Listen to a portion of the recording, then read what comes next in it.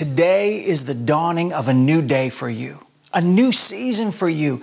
The word says in Isaiah 61, 60, verse 1, arise, shine, for your light has come. Who's that light? It's Jesus. Your light, my light has come, and the glory of the Lord is risen upon us. Did you know that you are light in the Lord? That's what Ephesians 5 verse 8 says. So let's just welcome Jesus to shine through us, in us, His Word, His principles, His life, and unite our hearts together right now in the reverential awe of God. Precious Holy Spirit, we welcome you. You are such a strategist. You are the one that can put together all the pieces of our life and make it so that we can hold the light, the illumination of the glory of the living God. Shine through us, Lord, in a majestic way, in your powerful way, in your life giving, light illuminating way. In Jesus' precious name, amen. Wow.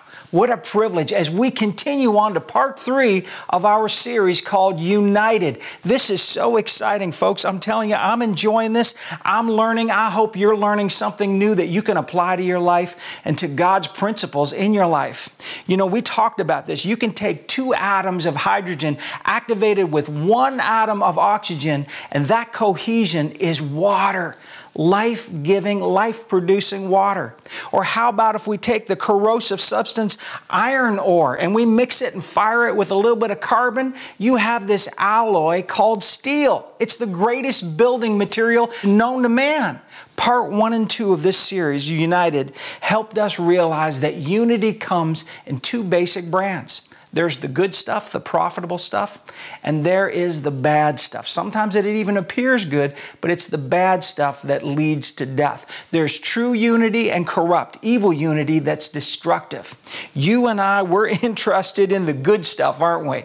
That promotes God's power, God's outcome here on earth. And I've been calling it true unity, but God's Word has another term for it, and this is what I want you to see. Look quickly with me at Ephesians 4, verse 13 and just these few words. In verse 13 of Ephesians 4, it says, the unity of faith. It calls it the unity of faith. Well, Pastor Stephen, what does that have to do with water and steel? Well, who do you think made the hydrogen? the oxygen atom? Who, do, who hid the iron in the earth or made carbon, that substance? You see, when you remove faith in God from the core of unity, then you're left with corruption. If you care more about pleasing your neighbor than pleasing your God, the real God, the true God, then you don't understand unity, the real stuff. The unity of faith is an agreement based not on preferences or opinions, but on God's principle. Your opinion won't save your children. You know that. Your, your opinion won't save your children from sickness, from sin, or from a destiny in hell. Faith in God will do that. Our agreement on God's promises, in spite of our background and traditions, that is, quote, unity in faith. You know, in my experience over the years of ministering to many diverse groups of believers, I found that talking about Jesus, that's what unites us, not talking about our differences. Our differences are important in the body of Christ as we become united, but Christ's blood is what unites us, not our genetics or our bloodlines. They separate us, and trusting in them can destroy our lives. We overcome by the blood of the Lamb, Revelation says, not our nationality or our gender or culture. If the flesh could add to the work of Christ in achieving a new identity, then God would bless hybrid identity, and He doesn't. The book of Galatians totally rips that idea apart. Listen to me. Unity of faith, revival follows repentance. It follows this beautiful thing called repentance. You see, repentance sets you and me up for unity, cohesion, harmony. Even in marriage, if you really want your marriage to be rock solid and tight, you need to have that beautiful tool at work in your life every day called repentance. And it's not about, see, harmony is not about sameness, but it's the God kind of steel that produces excellent results. Without change, without alignment, without repentance, corruption is inevitable. I like Paul Harvey, the late Paul Harvey. He was that great radio personality, philosopher, I call him. And he said this Rome fell apart because within it had decayed and degenerated morally, socially, economically, to where, like an angry scorpion, I like this, he said, it turned on itself and died of its own sting. Whew. What a powerful picture. Have you ever seen a home, a building, a home with termite infestation? At a distance, everything can look fine, but when you get up close, you see that the support beams of wood that stabilize the house are now porous, rotten. They're almost like honeycomb. Termites like to eat the wood from the inside out. Right now, we don't have to look too hard to see that in society, there has been this serious case of moral termite infestation. The world is desperate to project this sanitized veneer of fake unity, but it's weak, it's rotten, and it's corrupt. Let's remind ourselves right now of how we started off this whole series. Remember, we talked about the story of the Tower of Babel in Genesis 11. The people of the world that in that day society was all about pursuing a form of unity by building upward. That's how we do it. We try to put something together to look together. Can I just say that again? We try to put something together to look together. They were drawing people inward with a tower upward when God in verse 6 had told them, and, through Genesis 11 had told them, I want you to build out and possess the land around the world. So when we look in verse 6, God saw, it says specifically, God saw that they were one people with one language and with one plan. That was their unity. And God said that that cohesion, this alloy, would make it so that, here's God's words, anything they imagined would be possible to them. Think about that. God Himself said their unity, their fusion of being one people, one language, one plan, had no limits and nothing would be impossible to them. And ultimately, because they were outside of God's plan, that nothing impossible would set them up for utter destruction, right? We talked about you can fall from a chair and you'll bruise yourself. You can fall from 20 floors and you'll kill yourself. So, yet, with an evil plan, a unity in defiance of God's commandment to possess the whole earth. The leaders of that day were probably afraid of losing power over the communication, so losing power over the people. They didn't want to build out and lose control. So they said, well, let's change it and build up so that we can still maintain control. Just like a group of insecure people at a point of decision, right? Procrastinators unite tomorrow. Here's the thing about being united that fusion of being one, one communication, and one plan. It suddenly reveals our God design, our God nature.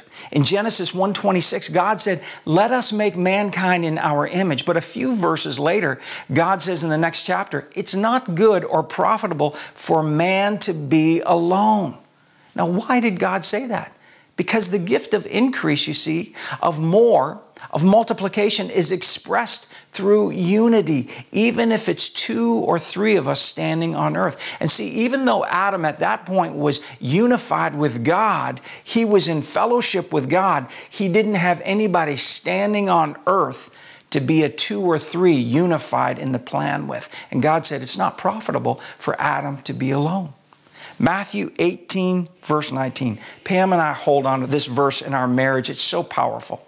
It says this Again, I say to you that if two believers on earth agree, that is, are of one mind and one harmony, about anything that they ask within the will of God, it will be done for them by my Father in heaven. This is Jesus talking. Your spiritual agreement your true unity actually obligates the hand of God on your behalf. Wow, that's power. That's what Jesus says about the matter of unity. That would, should excite us and that would excite us, but at the same time, it should help convict and convince us that it's time to get serious about being united. We've got to be united, but according to God's principle. There is a great Ethiopian proverb that says this When spiders unite, they can tie down a lion. What a picture. Martin Luther King Jr. said this. He said, We must learn to live together as brothers or perish together as fools. Mm, powerful. So we know, we are convinced that being united is key to life, building to success. The question is, what's the cause? What's the plan? What coalition or unity is right for you and me? Do you know where you belong? What's your destiny? To whom do you belong? The reality of your destiny is your unity in God's family. Oh, I know. You want to hear that again, right? The reality of your destiny is your unity in God's family. That's why I like that song. United, our hope is in the Lord. United, praise forevermore. God has set us free. Indivisible will be. United, trusting in the Lord, we stand united.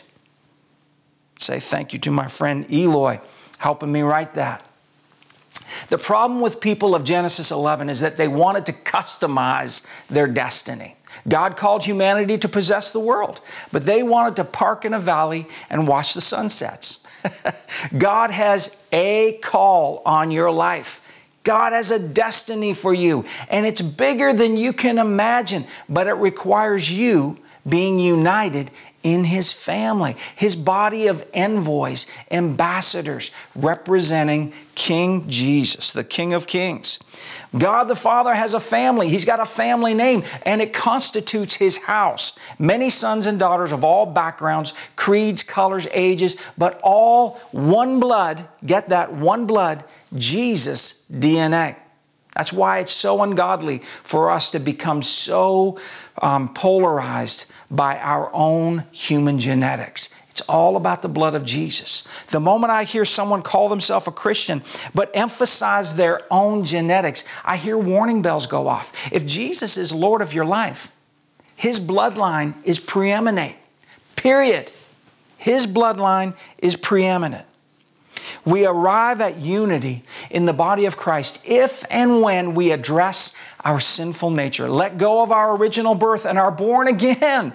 Being born again means just that a new identity in Christ Jesus. Seriously though, how can you how can you go a new direction if you don't repent, which means to turn, which means to change your way of thinking? You see, you can try to champion your old identity based on your genetics, your accomplishments, your gender, your culture, but you're actually denying the death and the resurrection of Jesus. He died so that you and I can die to ourselves. Jesus was resurrected so that we have legal right to be born again, to be a new creature in Christ Jesus. So why would you hold on to an old identity, a broken identity, a Genesis 11 Babel, Babel Tower of Babel ID? Why would you do it?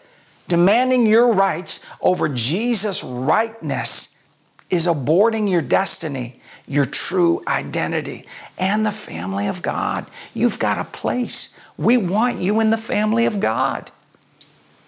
Nina Campbell, she's a novelist, and she once wrote this she said, Identities are like teeth, hard to maintain and easy to lose, but people tend to look at you funny when you're missing one.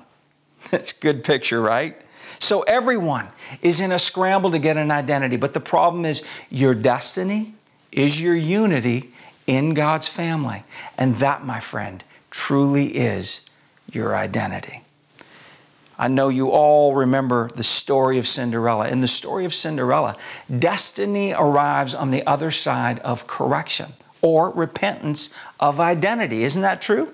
When the prince sees her and knows her as a princess and not as the poor servant girl, despite what she looks like, then and only then does destiny ignite and the powers that be change her into visually into the princess that we know her to be in her heart. Until there is repentance of identity, there can be no unity in the royal family. Jesus called to Peter's destiny by recognizing him as a rock. That's what Jesus called him. And on this rock, I will build my church. In Luke 6, verse 48, Jesus said that listening and acting on His word, on His truth, is like building your house upon a foundation of rock so that when the storms come, your life will stand strong. Well, many people's lives are falling apart because their identity is not built on the rock, God's truth. Jesus, the Word.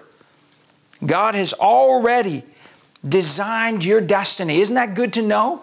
He is an expert builder. God is an expert architect, engineer, builder, and you've got a place in His family. Turn with me to 1 Peter 2, verse 5. Here's what we get Come and, like living stones, be yourselves built into a spiritual house, a spiritual family. You are a living stone a precious life, uniquely of God's design. God wants you united into His house. I want you united into Father God's family and house. He wants you rushing with His family power benefits. He wants you powered with His benefits. He wants you activated in love. Precious little five year old girl, she told her mom, she said, Mom, she says, I'm going to marry Justin. Well, mom said, Why? The five year old said, Well, he's, he's really good looking and, and I like his shirt. He's got a nice shirt. Mom goes, Well, you know, honey, she goes, looks aren't everything. The little girl, she thinks for a moment, she says, Well, mom, he really likes to clean too. Mom pauses for a moment thoughtfully. and She goes, Well, honey, you need to lock that down. you need to lock that in, dear.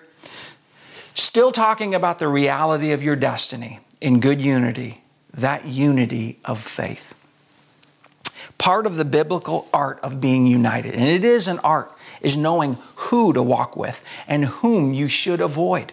Oh, Pastor Stephen, as a Christian, I don't avoid anyone. Really? Well, Jesus did, so are you better than Jesus? I just need to know before we go on here.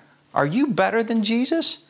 You see, our culture promotes a we are the world feel good ideology. Let's, let's all have a big group hug and then everything will be all right. But see, that's not truth. That's not reality, or it's not what the Bible, God who made everything that exists, says. That's not true. Jesus told his disciples in Matthew 10, verse 16, He said, Look, I'm sending you as sheep among wolves. Therefore, be wise. You need to be wise because there's not just sheep out there, there are wolves. And some of those wolves have very, very sharp teeth. And they are looking, just like the enemy in 1 Peter 5, they're looking for whom they can devour. John Lennon had a famous song that um, after he got out of the Beatles, well, maybe it was still with the Beatles, I'm trying to remember. But anyway, John Lennon had this famous song, and the lyrics went like this Imagine there's no countries. It isn't hard to do. Nothing to kill or die for, and no religions too. Imagine all the people living life in peace. You may say that I'm a dreamer, but I'm not the only one. I hope someday you'll join us and the world will be as one. My friend, that's unconscious oblivion. It's an arrogant assumption that somehow we don't have a sin problem, that there's not a sin disease coursing through our veins that causes us to do wicked things. He's saying that Cain would not have murdered his brother Abel if only there were no countries. Well, you know that's insane. God thought that you and I were worth the dying for. Sometimes things in life have to be so valuable that somebody's got to be willing to lay down their life. Jesus laid down his life for you and me. That's why he came to destroy the works of the devil. Sometimes things need to be destroyed. Jesus came to destroy the works and the lies and the fabrication and the strategies of the enemy. Proverbs 18, verse 24 says this The man of many friends, a friend of all the world, will prove himself a bad friend. You don't need any bad friends. That's not going to be good for you. Unity is not some group hug we just hand out randomly, but an order we practice with God's wisdom. It requires repentance, turning to wisdom, and skill. Did you know unity requires skill to really possess it? CEOs get paid a lot of money to guide their company into a unity, out of a silo mentality, into a unity that makes them profitable. Professional sports, did you know they hire coaches for millions of dollars who bring strategic change, repentance, to achieve team unity. History is full of examples of where it's not the, the biggest and the most strongest who win, but those who are the most unified and that unity of faith, that revival of faith.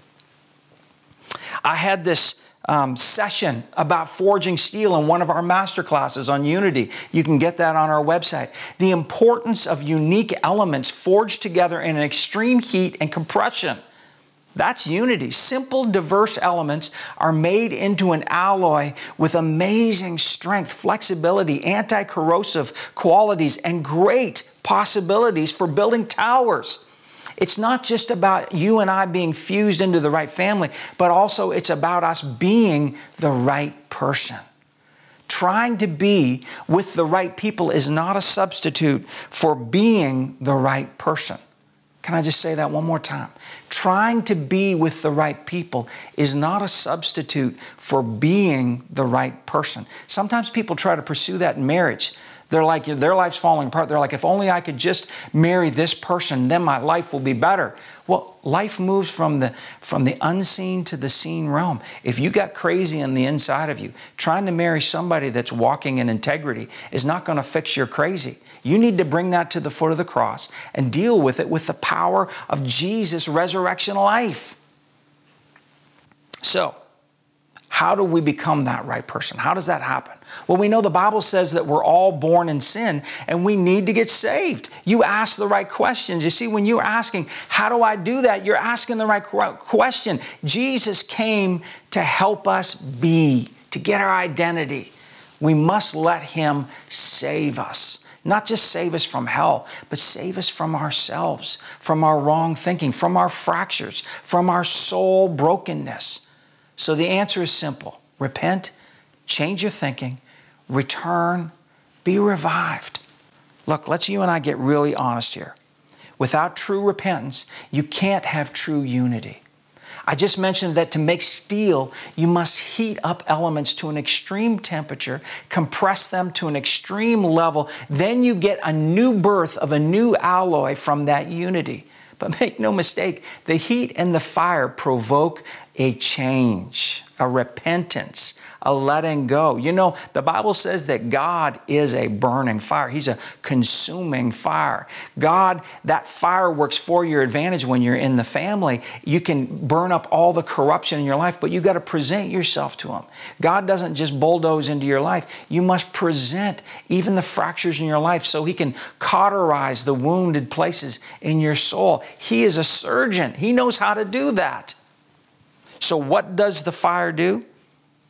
It makes the element humble, open, willing, surrendered, purified. To repent is to change your thinking, to return. What do we return to? Jesus' cross, the place of victory, God's plan, God's destiny for your life. God has a plan for your life written long before you were even conceived in your mother. He has a plan for you, but it requires a return to the plan. Repentance is that return. And even though it's got a bad taste in so many people's mouth because it's been misused, it's had a wrong tone associated with it. Jesus didn't run around screaming, Repent! He announced it as a life giving, saving opportunity. Look at Mark 1, verse 15. Jesus talking, and it's his first sermon. And he says, The kingdom of God is at hand.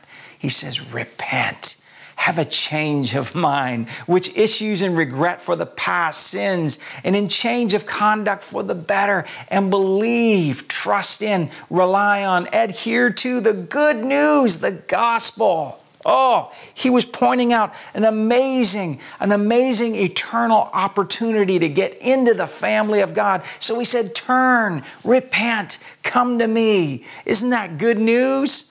You know, in the Winter Olympics of 1980, there is the famous story of the miracle on ice. It really was, if you hadn't heard about it, it's really about the U.S. hockey team shocking the world by beating the undefeated Russians to win gold. Coach Herb Brooks said this in the locker room speech right before the game. He said this. He said, Guys, he said, great moments are born from great opportunity. And he said, That's what you have here tonight, boys. You have a great opportunity. You see, if you saw that movie, they made of this story. It was in the, the, early 2000s. It was starring Kurt Russell. And there's this moving part to the story where Coach Brooks played by Kurt Russell, intensifies the training to an unbearable physical breaking point. The guys are just they're they're on the ice, they're they're falling apart, they're just they're they're collapsing. And to help the guys, he does this. He brings them to an intense heat. It's almost like he's making a steel for the Olympic Games. And he brings them to this breaking point to help the guys what let go of their old identities to let go of their silo thinking, of their old mentality, and to mix them and bring them into a united place where they were Team USA, one mind, one plan, one goal, of one communication. Just bringing them into that unity. Doesn't that sound familiar? Isn't that beautiful? I'm not going to avoid the issue here. Depression, anxiety, sadness, hopelessness, they're epidemic today from the poor to the rich, from the young to the old, people are suffering. They're hurting. And I'm, am I saying that the answer is to just be united? No, absolutely not. Because with whom must be answered. If you don't repent, that's the precursor to being unified. If you don't repent, you will take your inner reality, your inner crazy into a union, and it will only multiply. Unions have the power to multiply. So you've got to repent first. Lay down all the sin, the sadness at the foot of the cross. You see, that's repenting. Take responsibility and humble yourself by submitting to Jesus' victory. Winston Churchill said this. It's a beautiful quote. He said, When there is no enemy within, the enemies outside cannot hurt you society says if we can just make everything right outside, then you'll finally feel right inside. See, that's a lie. It's meant to distract us from our need for repenting from our own sin and iniquity, from our own fractures. If life can be someone, somebody else's fault, then, then you're going to be free and happy and able to move into a unity. Look, if your life is everyone else's fault, then you are completely powerless to be redeemed. You have to be able to employ your own delegated authority. So you have to take responsibility. Jesus came to give us power over the enemy within. Fear destroys from within. Envy kills from within. Anger, hate, jealousy, lust, depression, hopelessness, all those diseases, they destroy from within. Repent Get your mess out and lay it at the feet of Jesus, and then you can be united to stand. You see, we've been trying to fix life by exporting the blame to everyone else, and it hasn't worked, has it? Oh, sure. We may feel better, you know, for a moment. Even if we blast somebody on Facebook for a minute or two, we may feel good for a moment, but you're still the same person, aren't you? Your inner reality is still attracting all the crazy to the shores of your life. You and I, we got to repent. You know why? Because you're needed. We need you. We need you in the family of God. God's making something amazing and you are needed. Look, you are so important. You're needed. The call of God is on your life and it's significant. The reason the devil works so hard to make you feel worthless, unqualified, unfit is because he's terrified of you, of you getting hooked up with the right people, getting unified and living by faith. He's terrified of that. He's terrified of you receiving, growing, and giving. He has no defense against that. So just imagine with me for a second. Imagine the enemy with no defense against you when you're standing in, united in faith. James 4, verse 7 even says this when we humble ourselves, that means getting in the family of God, submitting to God, our leader, and we resist the devil. It says, James 4, 7 says that the devil runs from you. He run, when you resist him in faith, he flees, he runs. We talked about 1 Peter 5, verses 8 and 9. Look at it again. Be sober of mind, be vigilant and cautious at all times, for that enemy of yours, the devil, roams about like a roaring lion, seeking someone to devour, someone out of unity. Verse 9, withstand him, be firm in faith. Look, I know you want to stand in the spirit of unity right now.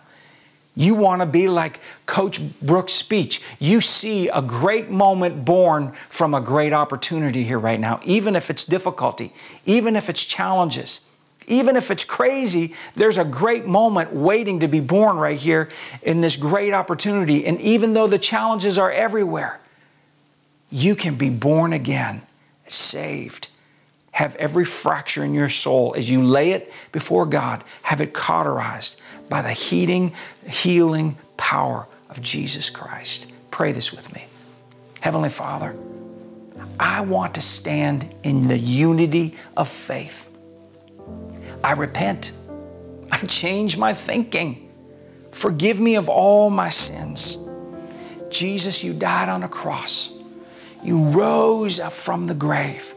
Right now, I invite you into my heart. Be the Lord of my life. I'm on Team Jesus now. Jesus is my coach. Jesus is my Savior. He is my life, my focus. Amen. My friend, you just invited Jesus into your life. You just invited Jesus, the great healer, to begin working on the fractures in your soul. You joined Team Jesus. That means you signed up for team practice too. You need to keep studying the playbook and seizing every opportunity. Look, I have more of an in depth study on unity on our website. Plus, enjoy more practical steps for your life, your marriage, um, your family, your career. It's all under the, the master class on unity. I know it'll be a great blessing to you, but you can go to the Jesus button right now on our website and let us know specifically how can we be praying for you. We want to pray for you.